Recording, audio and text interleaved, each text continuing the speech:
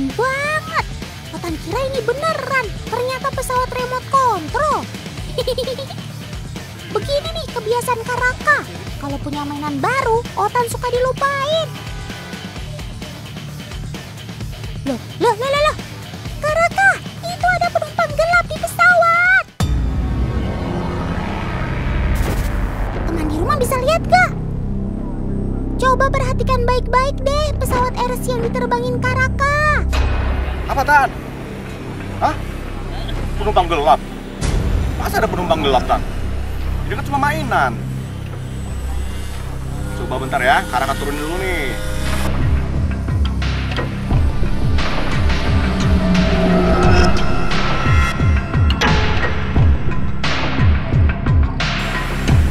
Ini Tan.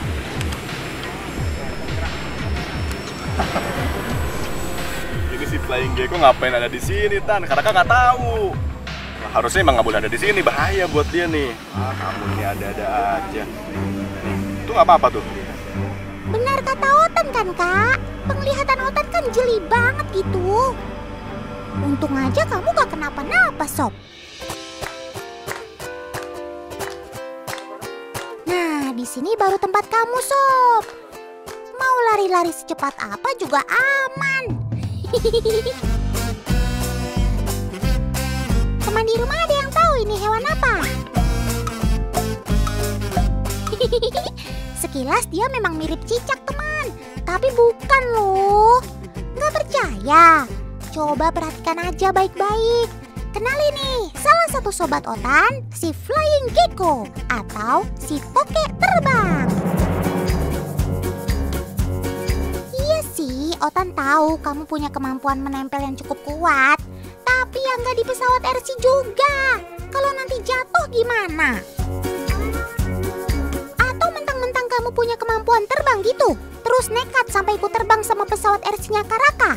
Ya nggak gitu juga konsepnya kali sob. Sesuai dengan namanya teman, Flying Gecko atau si toke terbang ini punya kemampuan melayang di udara. Dia tidak benar-benar bisa terbang seperti burung. Tapi sobat otan ini punya selaput di setiap sisi tubuh dan juga jarinya. Bagian ekornya juga pipih, berbeda dengan jenis toke lainnya. Adanya selaput membuat toke seolah terbang melayang saat sedang berada di udara. Selaput dan bentuk ekornya yang pipih menghasilkan daya angkat.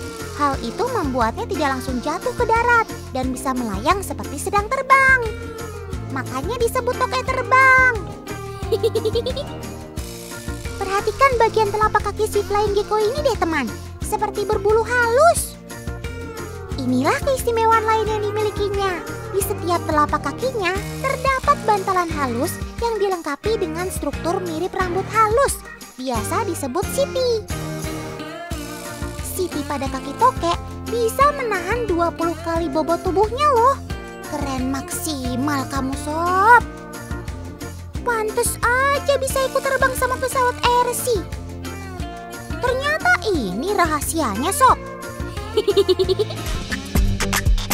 Terbang udah, menempel juga udah. Masih ada nih kemampuan lain yang dimiliki sobat otan ini. Ada yang tahu? Yap, benar banget. Kamuflase diri.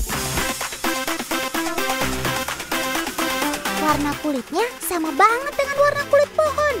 Kalau tidak benar-benar jeli, Otan juga bisa terkecoh untuk melacak keberadaannya. Kemampuan ini bisa mereka gunakan untuk mengelabui ancaman di sekitarnya. Kalau gitu sih bukan cuma hebat sob, kamu juga cerdas. Hehehe, baru juga Otan puji, sekarang malah berantem. Sob, kalian kan sesama flying gecko, masa malah berantem sih? Nggak enak ah dilihat tetangga.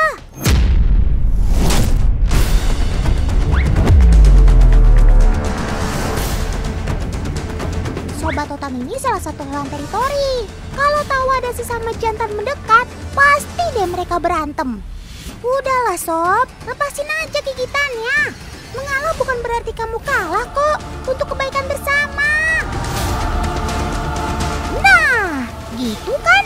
Cakep. Walau terlihat kalem, ternyata kamu ini galak juga ya Sob. Apalagi kalau merasa terganggu. Ada ancaman lagi nih Sob. Apa yang akan terjadi? Dan... Nah, nyerang lagi kan? Bener-bener si emosian. Padahal si Lipan gak ada maksud buat nyerang. Kayaknya cuma numpang lewat doang deh. Gak pandang siapa, kamu tetap ngajak ribut, Sob. Sangar. Kalau begini caranya, kayaknya gak ada yang mau berteman sama kamu deh. Nah, kualat? Udah bener-bener di atas pohon, malah nemplok di rumput. Oh my god, kirain di darat lebih aman. Ternyata malah ada si ular rumput. Ular rumput biasa juga disebut ular lare angon atau ular kisik. Walau bertubuh kecil, ular tetaplah ular.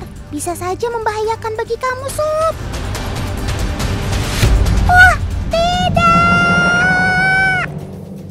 What? Kamu malah nyerang si ular? Gak disangka, gak diduga. Mentalnya boleh juga nih. Sepertinya kamu petarung yang cerdas. Sebelum lawan menyerang, kamu sudah melancarkan serangan lebih dulu. Tapi sudahlah sob, lepaskan saja gigitannya. Ikut Otan ke depan sana yuk. Otan punya sesuatu yang spesial buat kamu.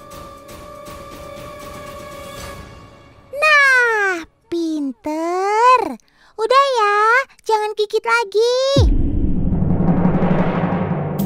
Eh, udah melet-melet lidah aja.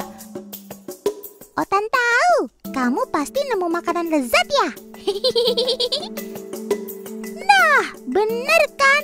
Tahu aja kalau ada yang enak-enak. Flying gecko akan lebih aktif cari makan saat malam hari. Dia sangat pandai mendeteksi mangsa dari pergerakan dan baunya. Walau terlihat santuy saat berburu, tapi seketika dia menyerang saat mangsa sudah dalam jangkauannya. Dengan lahapnya dia makan. Woi, sob, nggak inget totan nih kamu. Ngajak-ngajak dong kalau makan.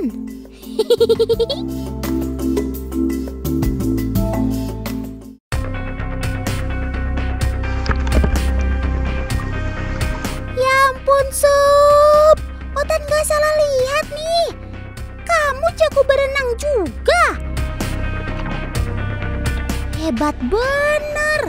Otan kira kamu takut sama air. Ternyata saat ada dalam situasi tertentu, kamu bisa menyelamatkan diri dengan cara berenang dan mencari tempat lebih aman. Secara alami, kejadian seperti ini bisa saja terjadi, teman. Saat dikejar predator, bahkan saat berburu makanan. Selaput jarinya juga bermanfaat saat berada di air seperti ini. Kemampuan dan gaya berenang kamu bukan kaleng-kaleng, sob. Bisa jadi atlet renang juga nih kayaknya. Bukan cuma itu teman, kulit flying gecko juga anti air loh atau waterproof. Nggak percaya? Coba perhatikan deh ya. Saat air menetes di kulitnya, air tetap menggumpal dan seketika meluncur ke bawah, tidak meresap sedikit pun. Jadi ingat saat air berada di atas daun talas ya teman. Tapi bukan berarti kulit flying gecko ada lapisan lilinnya loh ya. Kulit flying gecko memiliki spinula atau rambut khusus yang berbentuk seperti jarum dan tersebar di seluruh permukaan kulitnya. Saat terkena air, spinula akan bereaksi melontarkan air kembali dari tubuhnya. Kondisi ini akan terjaga saat flying gecko dalam keadaan prima. Lain cerita kalau lagi stres atau sakit, spinula nggak mampu bekerja maksimal.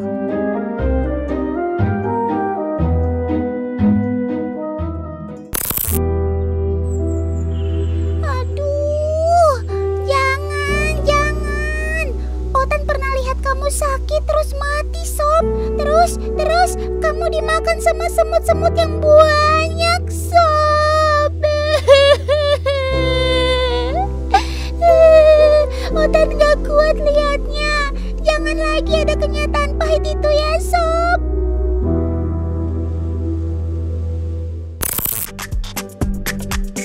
Yuk, sehat yuk. Terus aja melompat ke sana kemari, Sob. Nah, kan kalau lincah begitu, cakep.